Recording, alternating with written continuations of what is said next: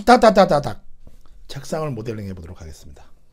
자, 빠르게 뭐 모양 만들면 어떻게 해서든지 만들죠, 그죠? 예, 자 빠르게 만드는 방법을 공부해 볼게요.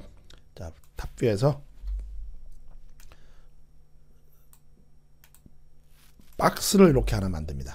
예, 이렇게요. 자, W 무브 모드에서 Shift 누르고 살짝 요거 좀 height를 좀 당기죠. 밑, 어, height를 너무 예, 두꺼우니까 살짝 당기고 Shift 눌러서 밑으로 살짝 복사. 그리고 isolation selection toggle을 해서 예, 다른 건 숨깁니다. 자, Edit Poly modify에 있습니다. X 누르셔서 Edit Poly 하시던지 여기서 불러와서 작업하세요. 저는 그냥 단축키를 지정했습니다. 음, Swift Loop 밑에 제가 링크 걸어놨습니다. Swift Loop 음, 단축키 지정하는 거요. 클릭하고 여기 클릭하시고요. 음, perspective에서요. 키보드 4번 poly 모드에서 여기 찍고 여기 찍어서 오른 버튼 extrude에서 쭉 뽑아냅니다. 쇽, 쇽. 너무 많이 뽑아내지 말고 front view에서 Z 눌러서 이렇게 쇽 확대해 보죠. 어, grid G 눌러서 grid 해제하고요. 음, 뭐 요 정도면 되겠습니다. 그죠? 높이. 예. 자. polygon 모드 키보드 4 키보드 4번 눌러서 빠져나오고요. Swift Loop을 이용해서 여기를 이렇게 이렇게 여기 한번 주고 그다음에 여기 이렇게 주고 여기도 이렇게 에지를 이렇게 나눕니다. 계속 Swift Loop을 이용해서 옆에 나누고 예, 나누고 키보드 4번 poly 모드에서 여기 선택하고 여기 선택합니다. P perspective에서 뒤쪽으로 숑 돌아가서 뒤도 클릭 클릭 delete 키보드 3번 border 모드죠. border 모드 여기요. border 예.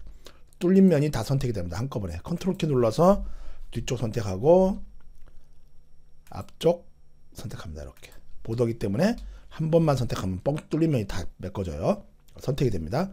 자 bridge를 이용해서 뿅 하고 메꾸면 간단하게 예, 이렇게 메꿔집니다. 키보드 4번 poly 모드에서 클릭 컨트롤 키 누르고요. 계속 선택하려면 컨트롤 키 오른 버튼 inset 그래서 살짝만 예, 이렇게 자 잘 안 된다 그러면은 오른 버튼 inset 세팅 박스 선택합니다. 그리고 Alt를 눌러서 미묘하게 조절합니다. 이렇게요. 예. 오른 버튼 inset extrude에서 다리를 싹 뽑아낸다. 이렇게 바깥쪽으로 이렇게. 예. 키보드 4번 poly 모드 빠져나오시고요. 자, front view에서요. F 누르셔서 front view에서 뒤쪽 여기를 막아야 되겠죠? plane을 이용해서 이렇게 막아줍니다.